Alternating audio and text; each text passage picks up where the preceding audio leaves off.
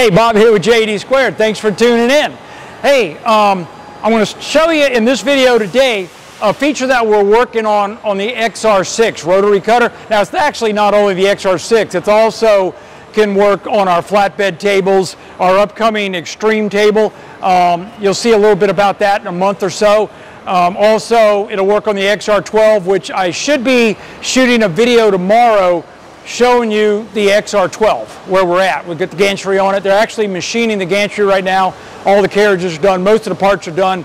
So I'm really, really excited about the XR12 because it's this machine on steroids. It's really cool. But anyway, what we're doing now, since I pretty much think I'm done with production, I think we've got it pretty well worked out to where we're roughly lead time around four weeks is what we're shooting for. Um, we're trying to do it quicker than that, but right now four weeks doesn't look bad.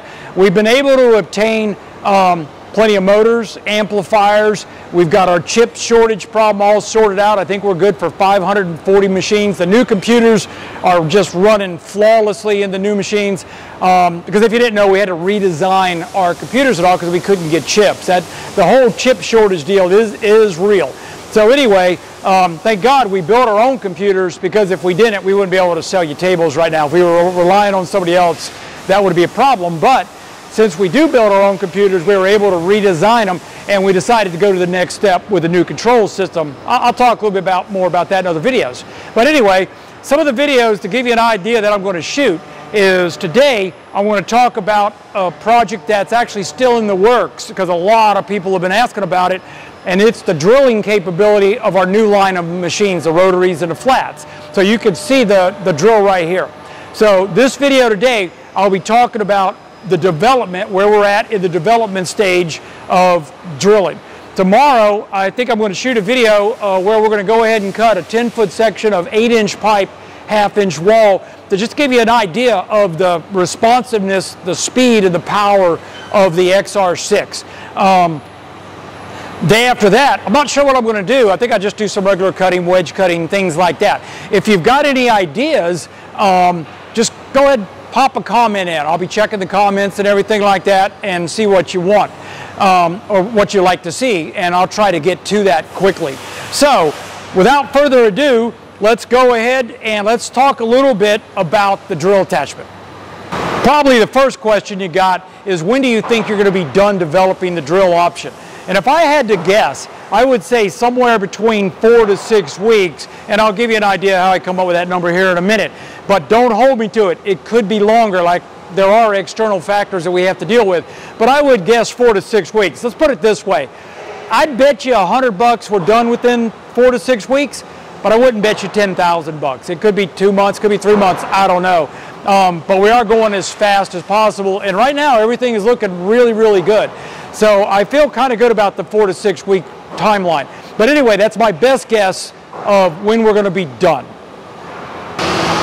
So why did I say four to six weeks? Well, there's two things that we still have to do. Let me first tell you what we've already done. The software in Mint, which stands for Machine Interface in our control panel, has already been completed. So it knows how to drill, how to peck drill, stuff like that. The software in our controller knows how to drill. All of that is completed. Clearly all the hardware in the machine is done where we have the ability to raise the torch out of the way while we're drilling. All of that is completed. So we feel pretty good about that. The two things that we still have to do, and, and as far as I know, the only two things, is we have to modify Camelot, and that's the software that we provide with the machine. We write in-house, it's our software, to recognize a hole as being drilled and not plasma cut or milled. So we have to do that also. That could take a week or so, a little bit longer, I'm not sure. And the other thing we have to do, and this is where the majority of the time is going to come in, is we have to create a control board to control the drill itself. Now that board has to have three features, forward and reverse obviously, variable speed control, and also the ability to soft start the drill. Um, they're brushes, so we don't want to really hit it with a on-off sudden surge of power because that drastically will shorten the life of the brushes. So we have to do that. Now, to get a PCB, printed circuit board, uh, two to three weeks in that area. I think it's like two weeks normally, but two to three weeks. Um, and then once that board shows up, we program our automated assembly line and everything, and then we make the rest of the board. So that's how I came up with my guess of four to six weeks. So, what are you going to get for your hard-earned money if you decide you want to purchase the drill option? You're going to get the drill head. Now, the drill heads that we you or uh, have chosen are made by Milwaukee, and it's a mag drill head. You know the magnetic drills? It's the replacement drill head off of those. This particular one has a half-inch chuck in it. It's rated for 200 pounds of downforce, and we're hoping to be able to do you know, half inch holes, stuff like that. And I think I mentioned this is not a 15,000 pound CNC mill, so you're not gonna be able to deep hole drill. We're estimating drilling probably in the half inch to, um, in the half inch range, call it 12, 13 millimeters deep. So we call it shallow hole drilling. And it's really designed to drill holes, tube, pipe, uh, you know, channel, things like that that have sections and they're not solid shapes. So you get that. You also get a new floating head torch assembly with a pneumatic control system on it, complete with regulator, which will regulate the speed of how fast it'll go up and down so we don't jar it loose. And that will raise the torch out of the way when you drill it. So clearly you're going to drill your holes first, then the torch will be in the up position, and then after you drill it, the torch will lower and you'll be able to cut your parts out. And you're going to see that when I drill a little bit later in this video when you actually see the machine operating. So you get a whole new floating control system. You also get the, the um, solenoid valves, the air, the regulators, and all this stuff to control that floating head assembly. You also clearly get all the mounts and everything to mount the drill, and of course all the wiring and the control boards to control the drill and the software upgrades, obviously you get all that for free anyway in order to do it. So you can see there's quite a few components in order to do that. Now, when we buy a drill head right here, we do have to modify the cable on the other end for a quick disconnect so that you can get this thing in and out of the machine pretty quickly. So all of that is taken care of. So you can tell there's, there's quite, a, a quite a few components that you will get with your kit. Now, all of these components can be installed at any day. You could order this this drill head option a year from now or a year after you own your machine, put it in the machine. This is just the first option of many that we are bringing out for our extreme series of machines, and I'm talking flatbeds, rotaries, everything. This just happens to be the first option. So that's what you're going to get. This is what we're going to make right here. We're going to drill eight holes in it. We're going to plasma cut the large hole, and then we'll cut off the part It's about three inches long, and it is three inches square tubing with an eighth inch wall. So 75 millimeter square tubing with a three millimeter wall. We're going to be drilling it with a 8.5 millimeter drill, which I believe is 0.33 inches, little over 5 sixteenths of an inch. And I think I already mentioned this is an eighth inch thick. That's where we drill it. Now the drill is a used drill. So we'll see how good the holes come out. It's not as, um, it don't feel that bad. I think we're okay. Anyway, we're to go ahead and we're to, I'm to videotape this in its entirety. So it's to do both sides so you can kind of get an idea of what's going on. So let me go ahead and reposition the camera so you get a little bit better view of it and we'll do this. Now for this section of the video, I'm going to be behind the camera and I'm going to be moving around trying to give you an idea. Now whenever you load up square tubing, into the XR machine, you're going to need to square the tube and locate the center of it. So let me come over here. If you look through here, you can see where I've got it. Let me move in a little bit more. You can see where I'm crooked on purpose. So what I'm going to do is I'm going to come over here to Mint, and I am going to go to the wizard right here, and I am going to probe for the square right there. So here in this dialog box, I put in my three by three, my dimensions. I hit generate. Let's go back to plasma. Now I can come over here and I hit run. So she is squaring the tubing right now. You'll see it moving.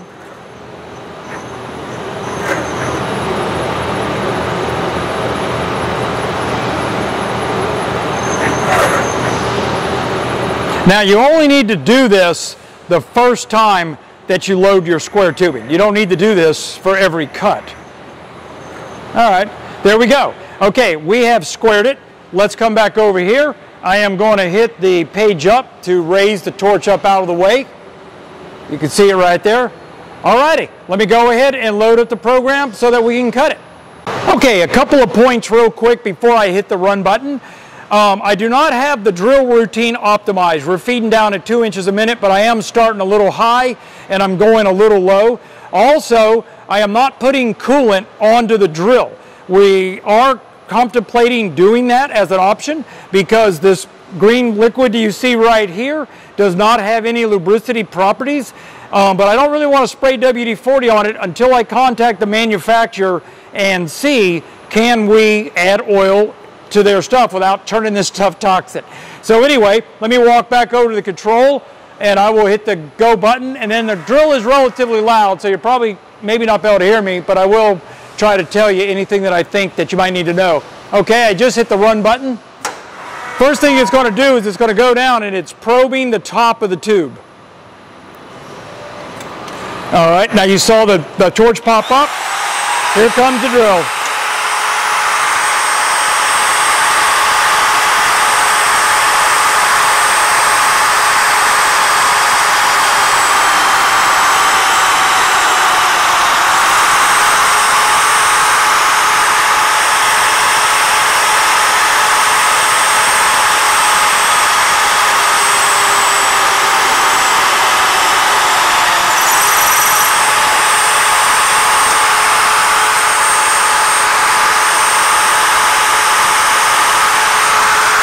Now, one of the reasons we say it's shallow hole is because you can see the torch up under there.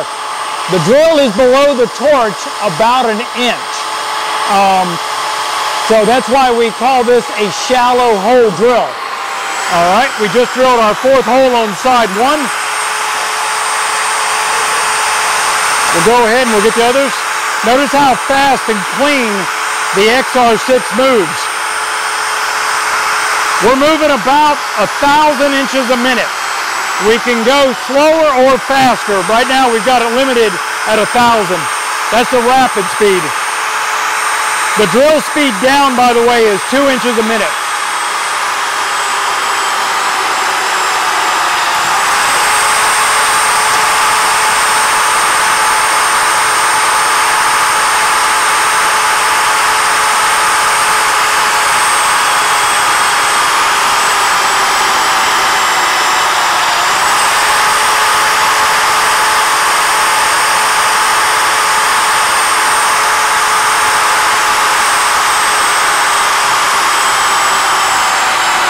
Okay, that's our final hole. The drill's off. You'll see the torch drop. I'll back up, see it go on down. All right, now we're going to go ahead and we're going to cut our part off. Let's get over here where you can see that.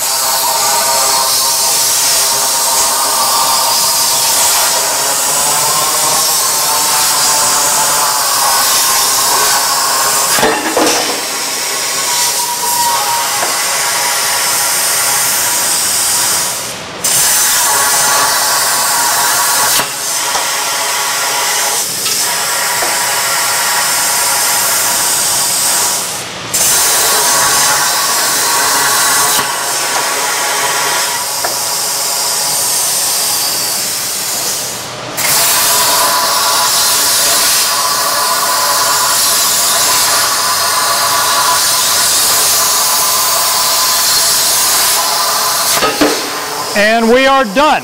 Let me go ahead and pull the part out. I'll show you what it looks like and give you some closing comments. Okay, we've got our part. We're all finished. This is it right here. Um, really nice looking holes actually considered I'm not putting any oil on the drill bit. Um, but that's your finished part right there. Um, hope you enjoyed the video. If you did, hit the like button and um, please subscribe because as I think I mentioned earlier, I'm going to try to do a video a day for the next couple of weeks here, maybe even longer than that. I got a lot of videos to make on the XR6 to show you some of the stuff, but I just wanted to give you a heads up on what we're doing. I really appreciate you taking your time out and watching the video. Hope you have a great day. Take care. Bye.